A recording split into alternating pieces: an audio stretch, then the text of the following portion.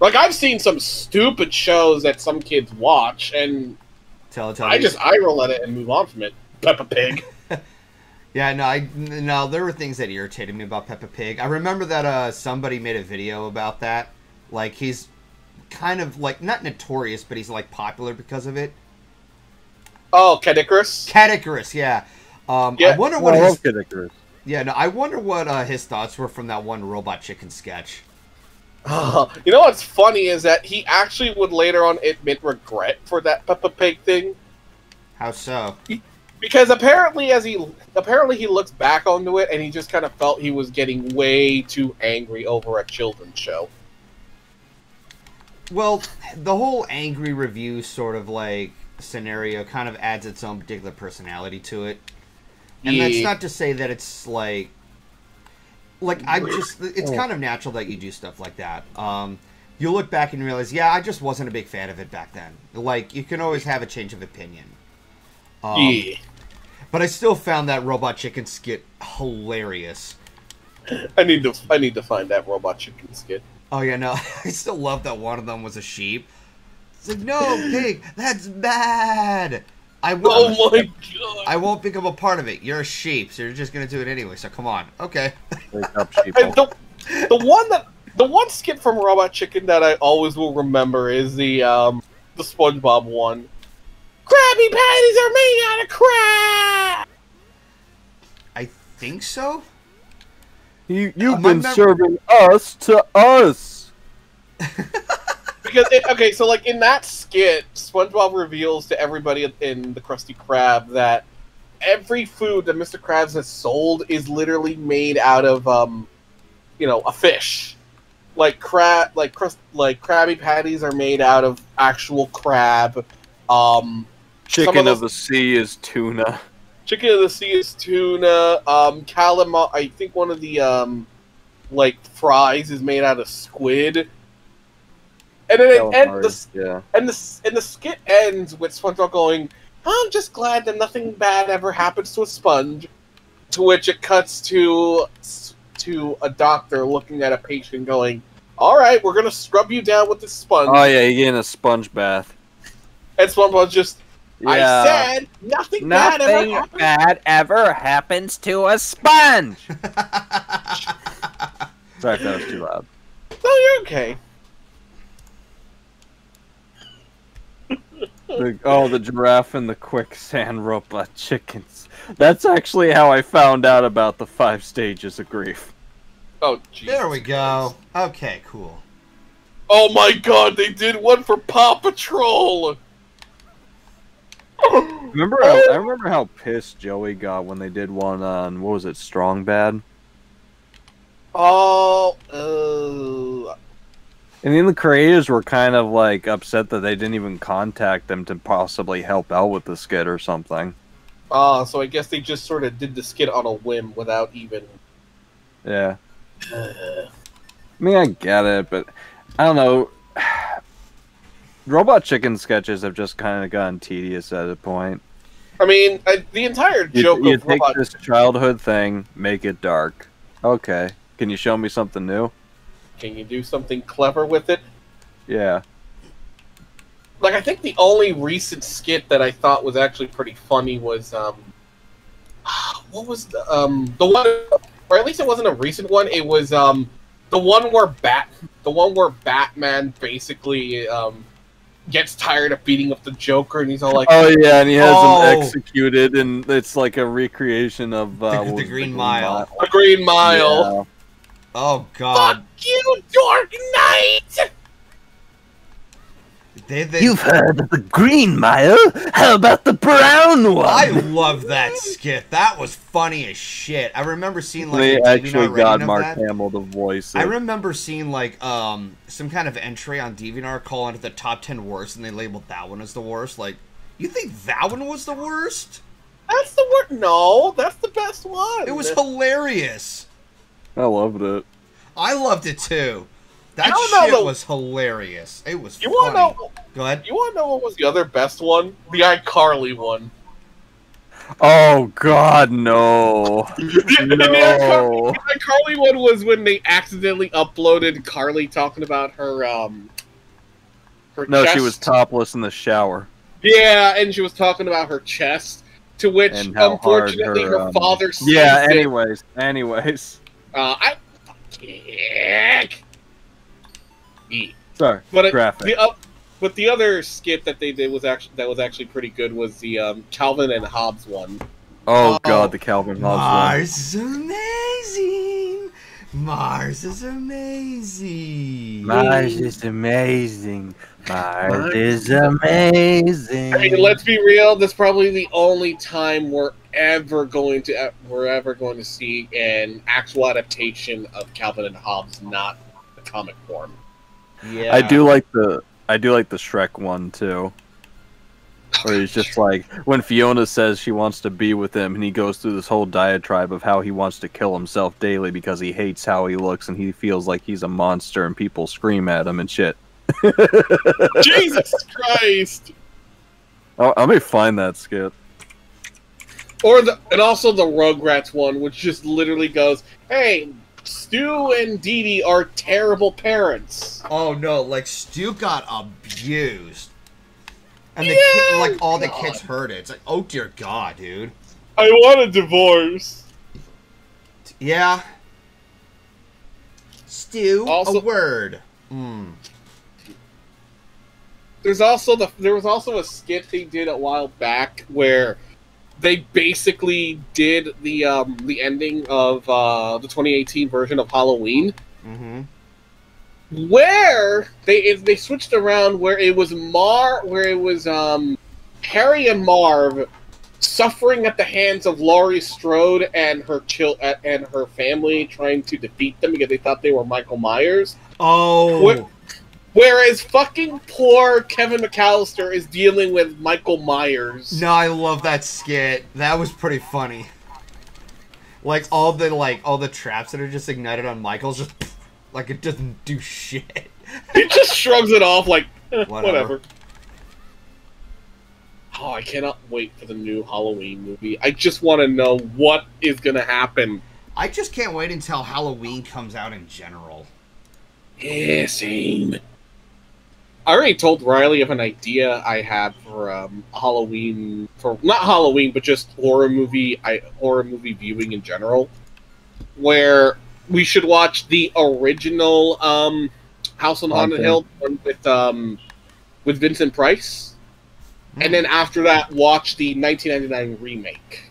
Well, with Liam Neeson and uh, uh, Catherine Zeta-Jones and wow, No, Owen no, Wilson? Ri- no, Riley, Riley, Yeah. Riley. No, I wasn't Wow. talking, Riley, I wasn't talking about the haunting, although that is Oh. a good choice. Now you're thinking of the haunting, the 1963 haunting, and then the Steven Spielberg remake. okay. No, I was thinking that the House on Haunted Hill one that I'm, ref- like Geoffrey Rush and um, Ali Larter, when they don't go to the that one.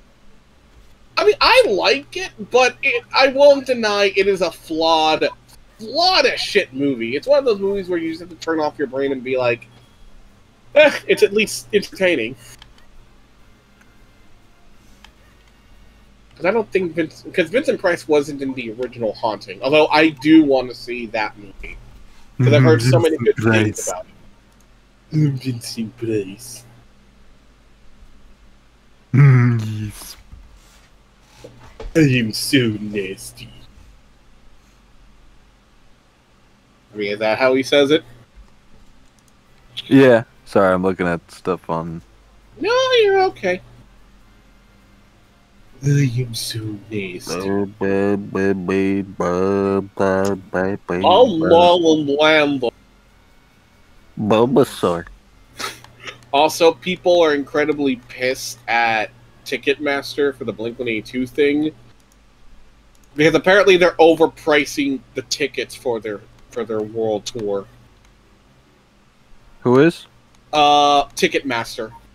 Oh, Ticketmaster is like awful. I, I remember uh, uh, who did and Illuminati did a whole thing on them and how they're like monopolistic and shit.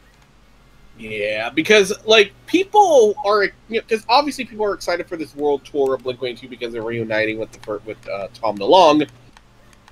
But literally, the tickets, like all the tickets, even the tickets for the floor for like the ground floor, are expensive as shit. I think one of them went up to like a thousand dollars for the yeah, sales floor. no. Yeah.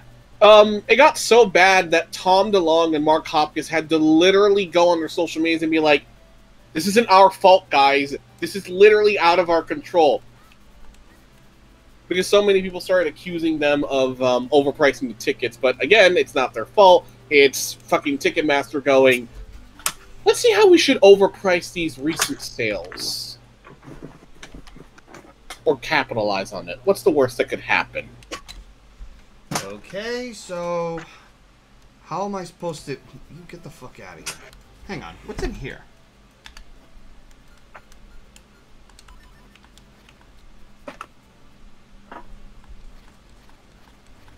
What's my age again? The age where I have to decide between rent and Blink 182 tickets. Ow!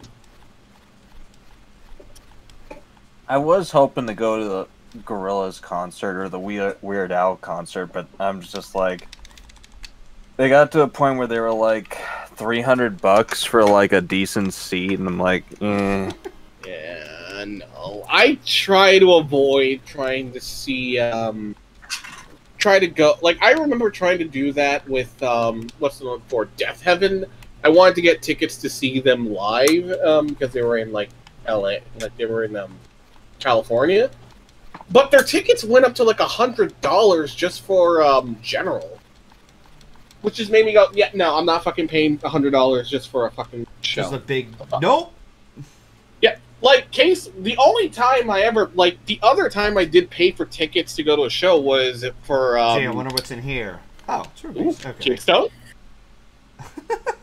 I was just about to say, like, is this a kinstone? Nope. So, um, but anyway, the other time I went to a uh, concert was um, actually it was the sec- the only time I've been to a concert was Alcé pouring um, appear, um, performing in um, at a small club in Hollywood, and they did not overprice their tickets. They only charged thirty uh, sixty three dollars. No, not sixty three dollars. Thirty six dollars.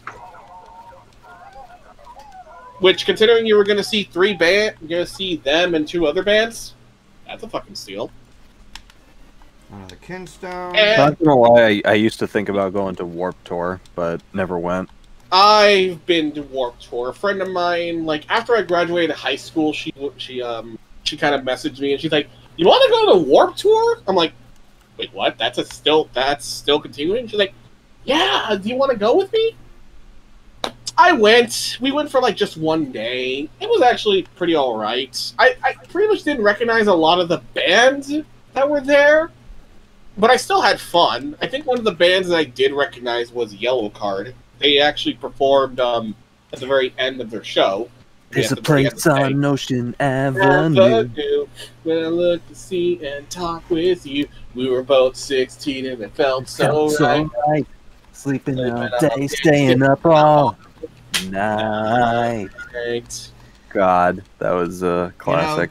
The funny thing, Yeah. whenever I hear that kind of music, whether it be like Blink One Eighty Two or Green Day, and as I as I'm saying this, um, this was from back when I was a teenager. You know what I used to call that stuff? I used to just call it college rock because they would always be played at like National Lampoon movies that took place during the college years. Eh, I mean, understandable. Especially considering that you know, technically, a lot of high, a lot of college students did listen to these type of bands growing up. Some people call that skater punk music. I'm like, so Tony Hawk? Yeah, th- it definitely had sort of a skater punk vibe, especially Blink One Eighty Two in their early days with um, their first two albums before they got big with um, Enema State.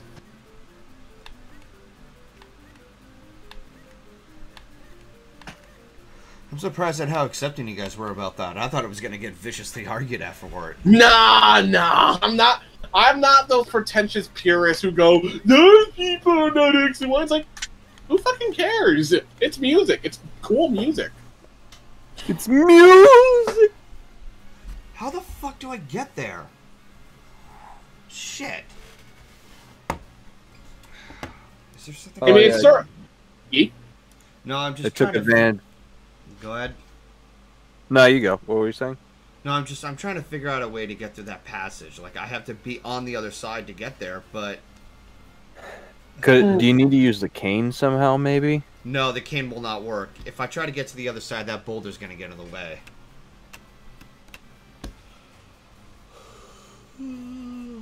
Interesting. Quick back restroom. Lon Lon Ranch. Lake must fuse five kinstones with Ernie and the mysterious, the mysterious walls. Come on, take me there.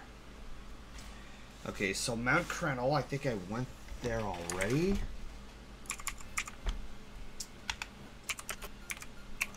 Yeah, so let's see if I can try to like just go there first.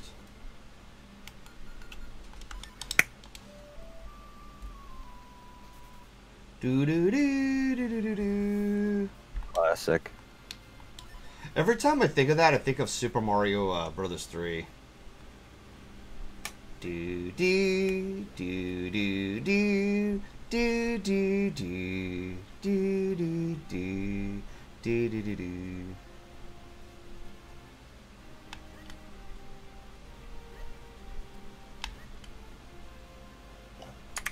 Hi, Misty. Okay, there are my headphones. Hello. Hello. Uh, why did you just uh, say hello like I did something absolutely wrong? I'm sorry. What? You just sounded like you just you, the way your voice sounded. It was like I had done something horribly long, wrong just by saying hello, and I'm like, I'm I in trouble? No, it was like I was like, "Hi, uh, hi, Misty." Like, BRB. All right. Yeah. See, my friends, this is why we communicate. Communication breakdown. It's always the same. Having a long, long takedown. Drive me insane. Okay, Don't maybe- wanna have a misunderstanding. Don't wanna have a miscommunication. Yeah, just take me there and I'll just enter Mountain Crenel the old fashioned way. I was already at the top of the fucking mountain and I'm like, where the fuck do I go? Um, oh, Misty, you got a question. Oh, what what's the question? I'm not in the chat yet. What does Oh. it say? Have you watched any Gen 5 episodes so far? The only Gem 5 thing I've seen so far is the movie. I uh I'm not entirely sure about uh, the Gem 5 episodes. I haven't gotten back on the Netflix quite yet. The only thing I can say is Opalina's a bitch.